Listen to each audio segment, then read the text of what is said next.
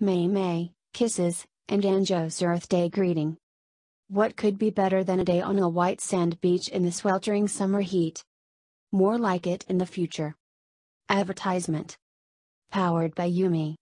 This is why on Earth Day, Pinoy Big Brother winner May May Entrata, housemaid Kisses Delavin, and Doble Kara star Anjo Damiles joined a marathon for a cause in Boracay, which aims to save the island paradise from environmental degradation. What's your green advocacy? Maymay, kisses, and Anjo's Earth Day greeting.